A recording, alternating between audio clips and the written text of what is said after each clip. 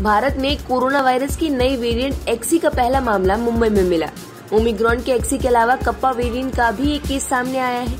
जिन तीन सौ छिहत्तर नमूनों का परीक्षण किया गया था, उनमें से 230 मुंबई के निवासी हैं।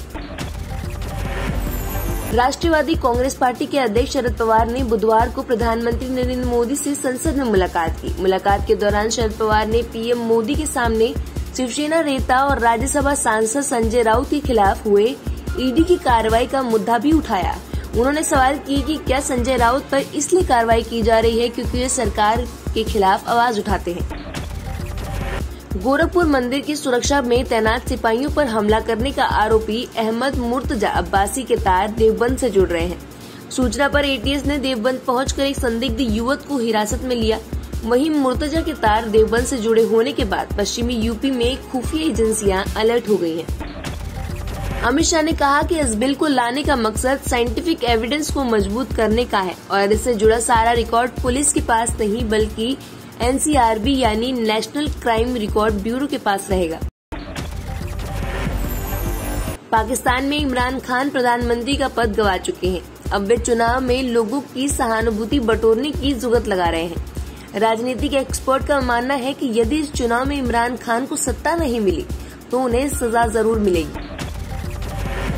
यूरोपीय यूनियन कई रूसी नेता और अधिकारियों पर प्रतिबंध लगाने के बाद रूस के राष्ट्रपति पुतिन की बेटियों पर भी प्रतिबंध लगा सकती है।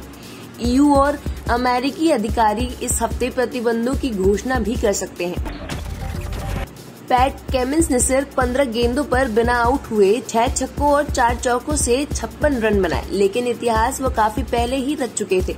और अगर सूर्य कुमार का पैर कैच लेने के दौरान बाउंड्री से छू जाता तो कमिंस पिछले 16 साल से आईपीएल का सबसे तेज शतक जड़ देते, सिर्फ़ 13 गेंदों पर ही। रोज बटलर ने बेंगलोर के खिलाफ नाबाद सत्तर रन बनाए। उनकी इस पारी में कोई चौका नहीं था। आईपीएल में ये सबसे बड़ी पारी थी जिसमें कोई भी चौका शामिल नहीं था। इससे पहले नीतीश राणा ने बिना कोई चौका लगाए बासठ रन बनाए थे। कुछ सालों पहले बॉलीवुड सिंगर सोनू निगम ने लाउड स्पीकर पर अजान को लेकर कमेंट किया था और फिर उन्हें माफ़ी भी मांगनी पड़ी थी। अब देश के दिग्गज गायकों में शुमार अनुराधा पौडवाल ने भी इसी मुद्दे पर सवाल खड़े किए हैं। एक इंटरव्यू में अनुराधा ने कहा कि वो भारत में जिस तरह लाउड स्पीकर पर आजान होती है, वैसा दुनिया में किसी कोने में नहीं होता। उनका कहना था कि जब मुस्लिम देशों में ऐसा नहीं होता तो हिंदुस्तान में ये सब क्यों हो रहा है?